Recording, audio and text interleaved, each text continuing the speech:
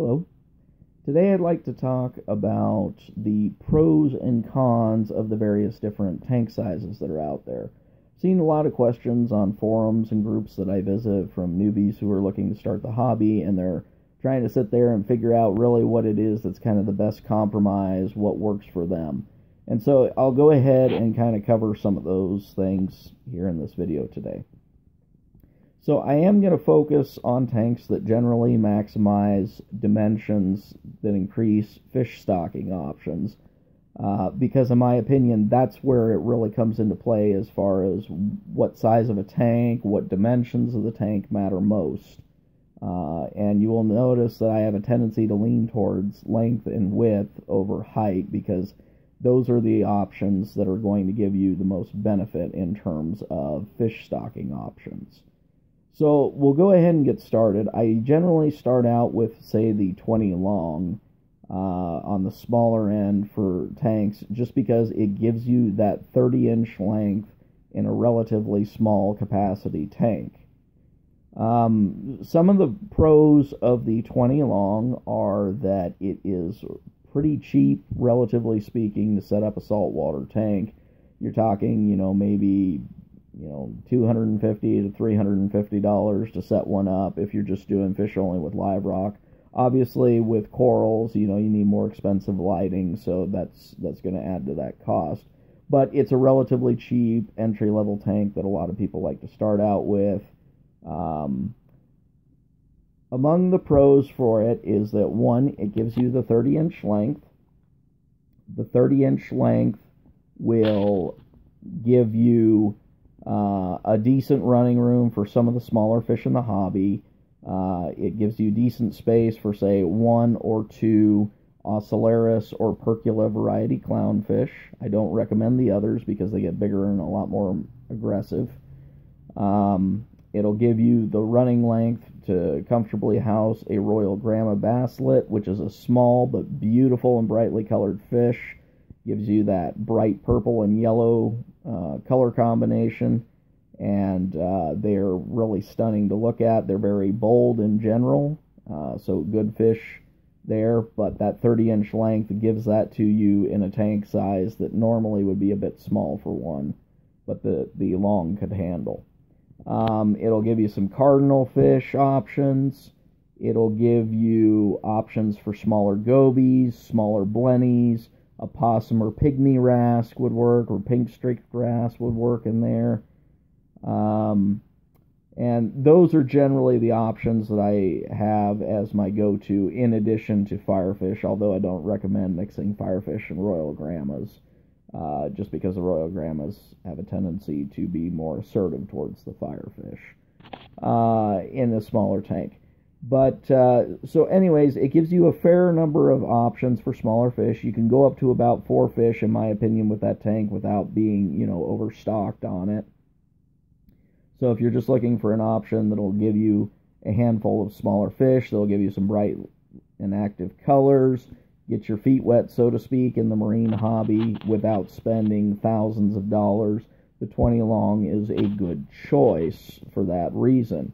Uh, for those of you who are looking at smaller frag tanks, the 20 long is also a wonderful choice because you have that more shallow depth and so it's easier to get good light penetration there and get good growth for your corals to be growing in there. So it's also a good choice for those of you who are looking more for uh, the coral side of it with a frag tank. Um, the cons are obviously if you have any ideas about you know, even a pygmy angel, dwarf angel, uh, a smaller tang, or any of those, you know, other sought after fish. Uh, the the 20 long is just way too small for them, uh, in in my opinion. Uh, there are some people that you'll see that run them for a while and they say, "Hey, I've had no issues."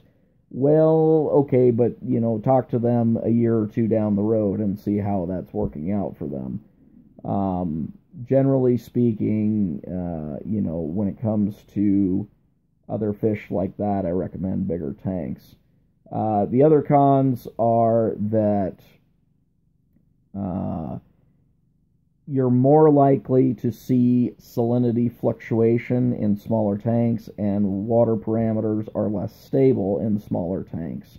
So, for example, if you accidentally overfeed, you're going to end up running into a bigger problem. So, it's one of those things where, you know, these are the things that you're considering as you're getting into the hobby.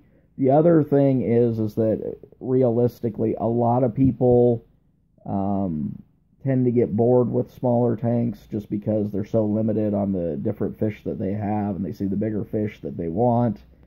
And so they just you know uh, then they end up spending a whole bunch of money in upgrades which you know is kind of uh, an expensive proposition because basically all the equipment you have to rebuy because once you do a significant upgrade you are effectively having to buy new equipment and larger, more upgraded equipment that's suited for a bigger tank. Um, so you can end up losing some money in the process. Now the good news is is that because a 20 long is ideally suited to a relatively small investment in the hobby, um, that you don't lose quite as much as you would with some of the other upgrades. Um, so the other issue is, as mentioned, with salinity. Um, evaporation is a much bigger deal with smaller tanks, and so you're going to have more evaporation and, and uh, maintaining salinity issues. Uh, because keep in mind, as water evaporates, salt doesn't. So as the water starts to evaporate, your salinity levels go up. So you have to put in fresh RO water or, uh, you know, set up something like an ATO auto top off system for fresh RO water just to keep that topped up. Um, you also are going to have to be more meticulous on your water changes just because there's not as much water volume. So, um, you know, it, you're pretty much stuck with a partial weekly water change. You can't just like say, ah, let's bag it for this week and then we'll go back in a couple of weeks. Uh, it's it's a lot harder to do that with something like a 20 long. So just keep that in mind. Um, the next tank that I would like to bump up to, because in my opinion this is should be the next logical step from a 20 long, would be a 40 breeder.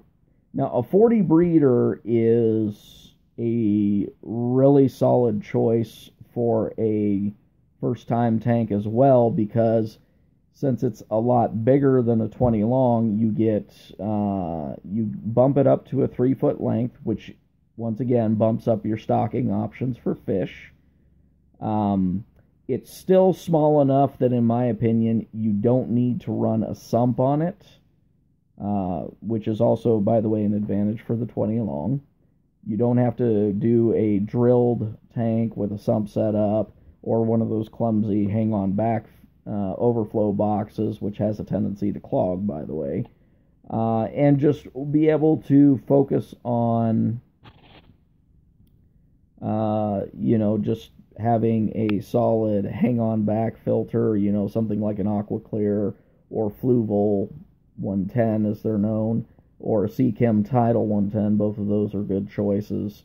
Uh, if you have more fish, you know, because this tank's probably about best suited for about eight fish or so, uh, smaller fish, that is. If you have more fish in there, then you might want to look at a solid hang on back protein skimmer, or something like the eShopps PSK 75H or the eShopps PSK uh, 100H. Um, both of those are solid ones, as is the Reef Octopus Classic 100. Uh, this will just give you a little bit of protein skimming that you can just hang on the back of the tank, um, and it'll help make things a little bit easier for you. Now, in terms of pros, uh, as mentioned, it's got a three foot length, so it opens up some stocking options for fish. Some additional fish you can look at once you bump up to a 40 breeder are something like a pygmy angel uh, or cherub fish, which is really, it's probably about the only one I'd recommend for this tank, just because the flameback and fireball pygmy angels, they tend to be a little bit more aggressive um, than the cherub fish or pygmy angel is. I'm not saying you can't get an aggressive pygmy angel or cherub fish, but Uh, I'm just saying that they tend to do better. Um, they also tend to be better about not coral nipping. Uh, so that is a factor. You just be aware with any pygmy or any dwarf angel that you have the risk of potentially having a fish that nips at your corals. So just keep that in mind. But in my opinion, the cherub fish or pygmy angel, as they're known in some cases, uh, would be a good choice to uh, to take a bit of a gamble on if you've got corals. If you don't have corals, don't even worry about it. I just throw one in there, no big deal. Um, another fish you could look at would be something like a Lubbock's or tricolor fairy wrasse. These fish are, quite frankly, gorgeous. They're a kind of a, a pastel mix of yellow, red, orange, um, just just beautiful fish. Uh, the other cool thing about them is that when they get under a good light, their eyes have that kind of blue iridescence to them. Um, they also, like other fairy wrasses, have the really cool factor of where they don't flap their uh, pectoral fins or their tail fin per se. They have a dorsal fin that they can move uh, and just kind of propel themselves along. And it's something that's unique to fairy wrasses. Uh, you won't see it with other wrasses or you won't see it with other fish.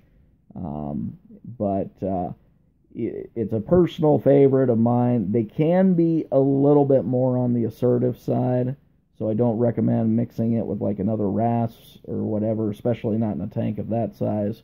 But if you're just looking for a single wrasse that you could possibly keep, uh, I would look at a uh, definitely look at a Lubbock's or tricolor fairy wrasse. The other advantages is that they're relatively inexpensive for a fairy wrasse. They run about $30, $35. Um, so they're whereas a lot of other fairy wrasses can run between 50 and 100. So they, for fairy wrasses, they're an inexpensive wrasse. Um, another one you could look at, it's pushing it a bit, uh, if you don't want to go with a Lubbock's or tricolor, is the possibility of doing, say, a McCosker's or Carpenter's flasher wrasse, um, which are cool fish in and of themselves. They have lots of different colors on them. They have uh, the ability to flash colors, hence the uh, term flasher wrasse. Um, but one of these could work for a 40 breeder. Uh, I wouldn't put any more than one in there, of course, but just one. And uh, in addition to the other fish mentioned for the 20 long and, and the smaller fish there, that you have the ability to put in the 40 breeder. So it does open up some cool options for you. It still keeps you out of the realm of a sump, and it's still relatively reasonably priced. Obviously, you're going to have to put in uh, double the rock work because you have a uh, general rule of one pound of live rock or dry rock if you decide to go that route for every gallon of tank. So these are some of the things that are uh, advantages to 40 breeders. Now for cons, I would say the problem is is that of course still once again dwarf angels, the bigger dwarf angels, you know, lots of people like the flame angels, coral beauties, and stuff like that. I'd still say you want to go up to a four foot tank for them if you want to have long term success for them and, and a good chance of success with them. Um, you're also not going to be putting any tangs in a tank of that size. They really, you know, even the smallest tang needs a bare minimum of a four foot long tank. Um, you also don't get the benefits of, say, a sump system, which gives you increased flow and filtration. You can put one on there, but once again, when you're talking about a tank that's not designed to be reef ready from the factory, it does take a bit of work, and a hang on back overflow system is just a pain in the butt. So, anyways, these are some of the pros and cons that I would say for a 20 long and a 40 breeder, which would be the two tanks that I'd recommend on the smaller end as far as sumpless tanks. Um, and then in another video, I'll cover bigger tanks. And that's all I've got, and thanks for watching.